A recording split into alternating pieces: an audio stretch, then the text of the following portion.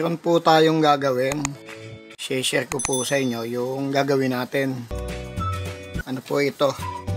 Eco Power Automatic Voltage Regulator. Ano daw po ito? Nag-spark. Ang una pong gagawin natin, kasi sabi po nag-spark. Bubuksan muna po natin yung voltage regulator. O open po natin. Ano po tayo? Visual inspection.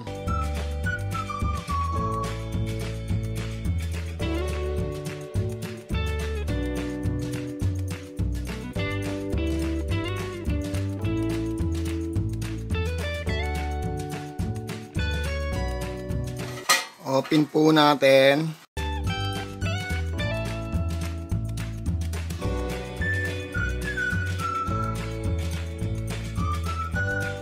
Check po natin. Yung fuse yung fuse titingnan po natin yung continuity.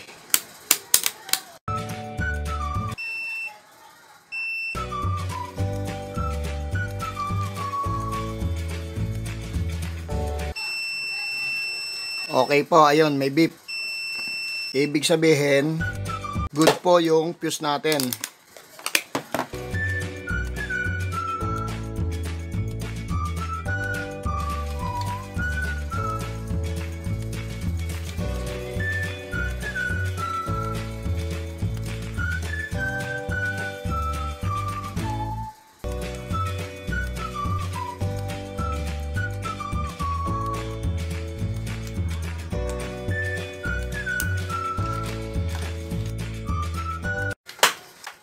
Pa-power on po natin.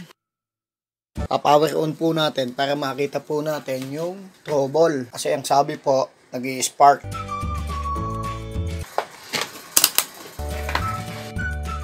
Testing muna tayo sa outlet po natin. Okay, may power. Pa-plug po natin dito sa outlet.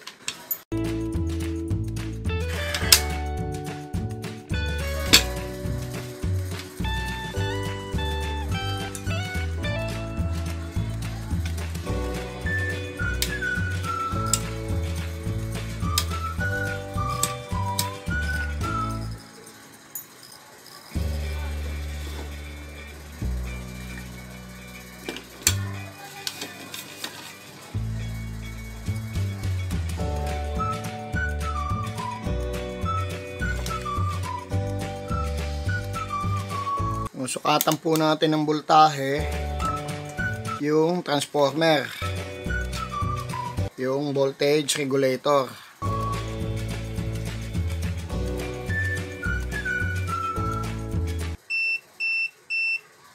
One thirty six volts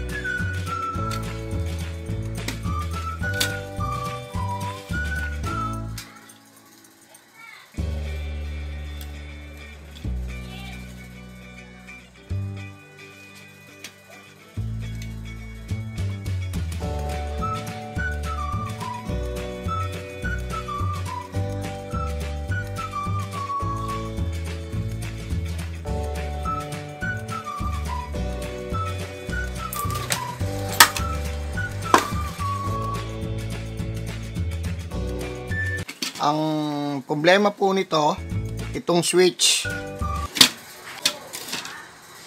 defective na po yung contact point sa loob.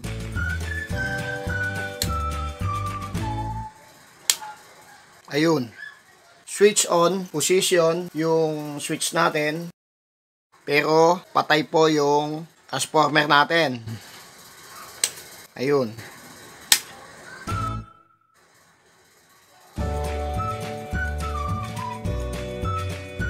Nagbe-blink yung LED indicator.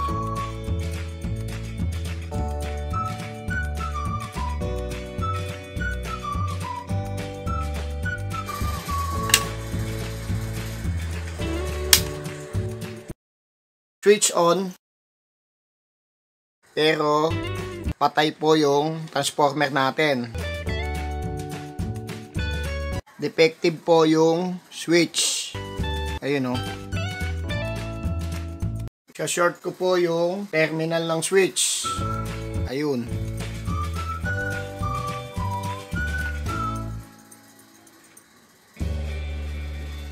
naka switch on position yung switch natin pero walang uh, power AC voltage na pumapasok sa transformer natin ayan po naka power yung switch pero patay po yung transformer natin. Wala pong pumapasok na power dito sa transformer.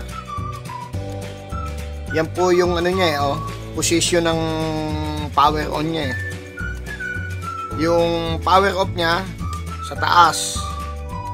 Yung power on sa baba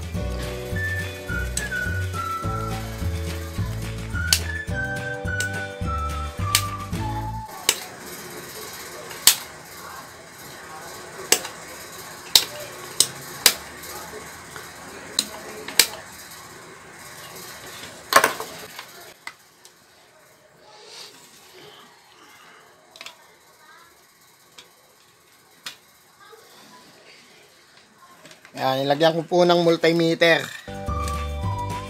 Ayan po. Walang power. Power on. Power off. Power on. Naka switch on. Yung switch natin.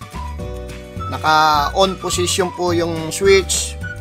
Pero patay po yung transformer natin. Wala pong power dito sa multimeter. Ipa-power off po natin switch off. Ayun. Switch on. Ayun wala pong power. Ka-short ko po yung terminal ng switch. Ayun 240 volts. Ayan po may 240 volts na lumalabas sa output. 240.3 volts Sira po itong switch. Ito po yung nag spark Maluwag po dun sa loob.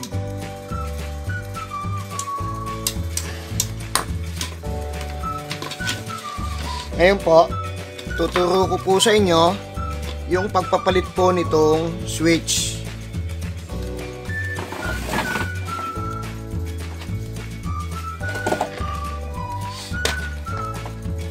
Papalit po tayo ng switch.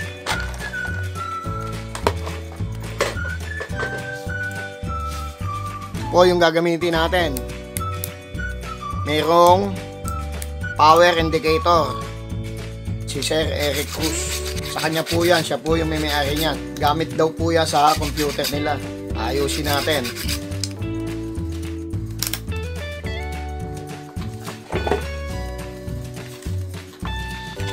Ang pagpapalit po ng switch tatanggalin po natin itong wire dito po sa terminal. Red and blue. Ngayon share ko po sa inyo yung pagpapalit itong switch. Doon po sa mga gustong matuto na may gamit po dyan sa bahay nila na ganito saksakan po ng PC ito po yung voltage regulator ng PC automatic voltage regulator. Meron siyang transformer sa loob at meron siyang relay ayun po may mga transistor capacitor at resistor. Tinesting po natin, sumisirit po yung kuryente rito, nag spark sa loob. Nag-o-on and off. Wala naman pong problema sa pyesa. Kasi, meron naman pong lumalabas na output 239 volts. Ito pong 110 niya, 136 volts. Kaya buo naman po ito. Ito po buo. Naga ano lang po siya. Power on, power off. Kaya nagkakaroon ng ano ng spark. Sira na po yung contact nung switch sa loob. Meron po itong contact sa loob eh. Hindi na po siya ganong nagdidikit. Nagko-close. Ito pong switch, red and blue, kahit po ito magkapalit o reverse. Yan po kasi yung line 1, nakaseries lang po dyan yung switch natin sa line 1 pumasok sa fuse, dumiretso sa switch, pagdaan sa switch, dumiretso sa transformer. Yung line 1, yan po yung nakakabit sa switch. Yung switch po, nakaseries po dyan sa line 1 ng AC natin. Ito na po yung red, dumaan po rito sa switch, pumasok po dun sa transformer.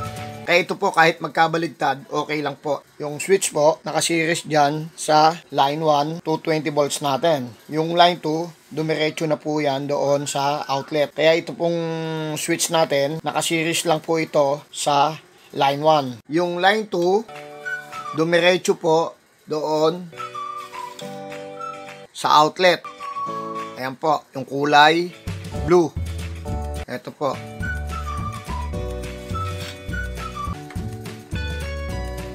Yan po yung connection niya. Ngayon, papakita ko po sa inyo yung pagpapalit ng switch. Baka meron po kayong ganito na ganito po yung trouble. Ang problema ay on and off. Switch po yung problema nun. Ngayon po yung switch po, para natin matanggal, tinutulak po itong lock niya. Ayan. Sa ibabaw at sa ilalim. Ayun, tanggal na po siya. Ngayon, ikakabit po natin itong switch na papalit natin. Ngayon, te-testing po tayo dito sa ipapalit natin. Baka defective po eh.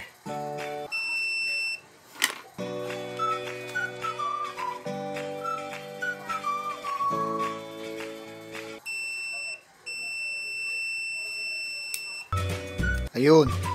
Ang pag-testing po, itong dalawang terminal, ito po yung terminal nung switch.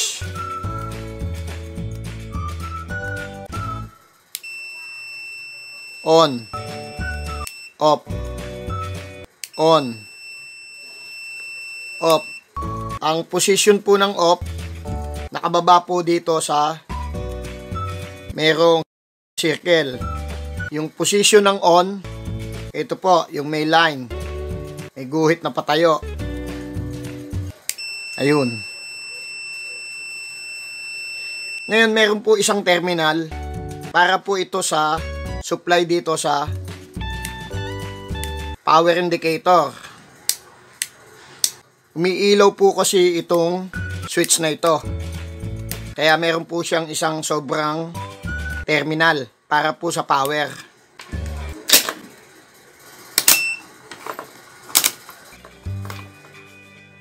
Kakabit na po natin.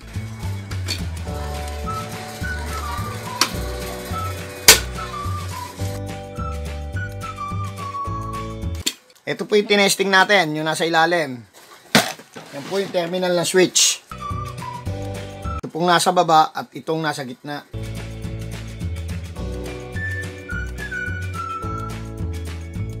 Lalagyan po natin siya ng lid para po madaling dumikit. Didikit na po natin yung red wire. And then, itong blue. Ito po yung line 1 na dumaan sa switch. Papunta po sa transformer. Ang kasunod po, isang terminal natin, lalagyan po natin ng wire. Papunta po rito sa line 2 para po umilaw itong switch natin. Pero magte-testing muna tayo. Pakita ko sa inyo yung kinabit nating switch.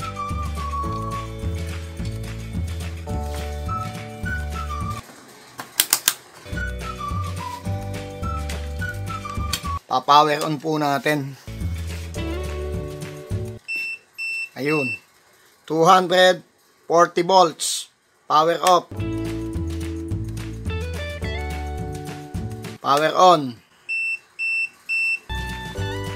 240 volts. Power off. Power on. Ngayon po, ang pakikita ko naman sa inyo,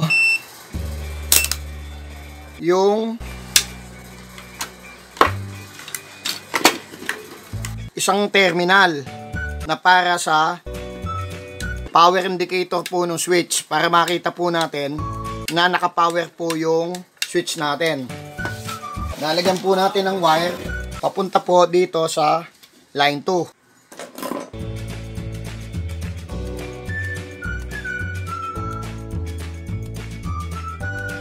Ito po yung sinasabi kong terminal para dun po sa power nung switch natin. Lalagyan po natin ng wiring. Para malaman po natin na naka-on po yung ating transformer.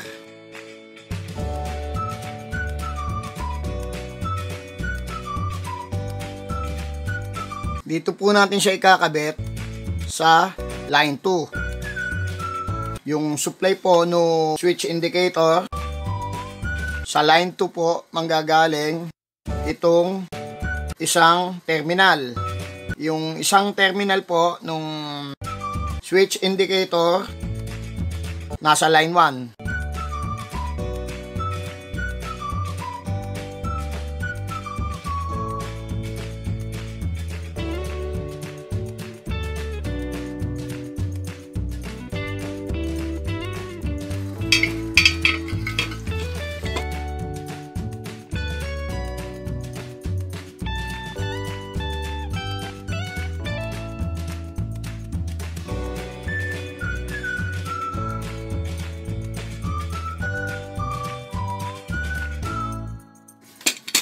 Sinikipan ko po yung blade nung outlet. Medyo maluwag na po eh.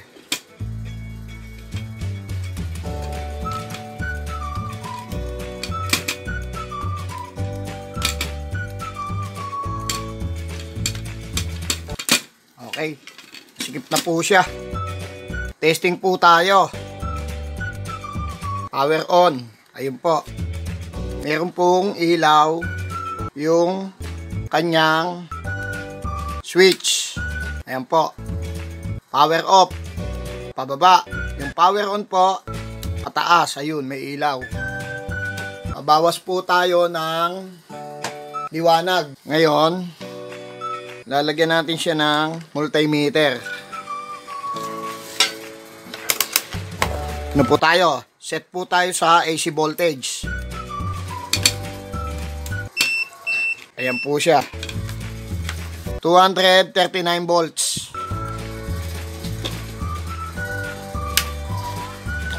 Ayan na po siya, hindi na nagloloko. Kanina po, naka power on, pero patay po yung transformer natin. Walang output. Wala pong lumalabas na voltahe sa output. Ayan po siya.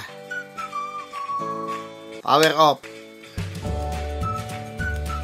Power on. Power off. Power on. Okay. Tapos na po yung yung voltage regulator. Power off na po tayo.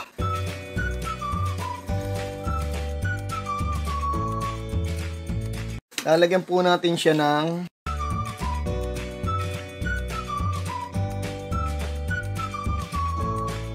Lalagyan po natin siya ng glue. Lalagyan po natin ng glue yung kanyang housing ng switch. Yun.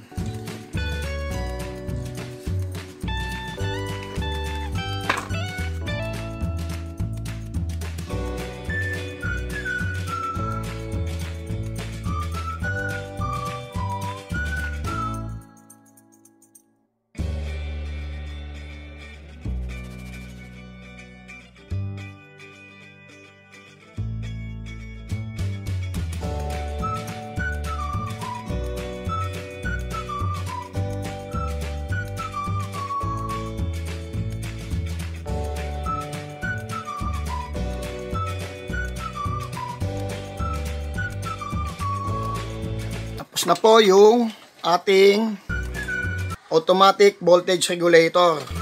Um, problema niya po, kaya po siya nag-spark. Nag-lose contact na po yung kanyang switch. Meron po siyang uh, contact point doon sa loob. Loose na po. Nangyayari, nag-on and off yung kanyang switch. Ayun.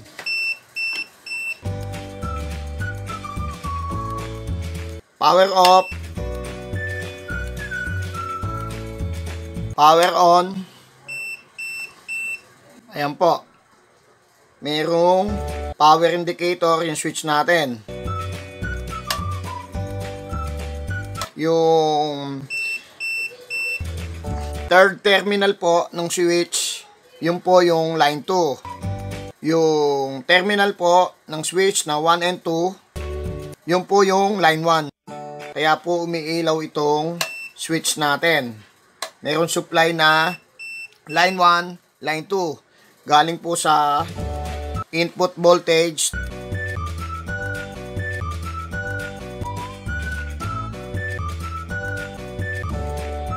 Tumatalon po yung kuryente. Kasi loose connection. Yan po yung switch niya. Nilagay ko sa ibabaw. Power off. Sana po meron kayong natutunan doon po sa pagpapalit ng switch. Pinalitan po natin ng switch dahil lang po sa nag spark loose contact na po yung kanyang switch.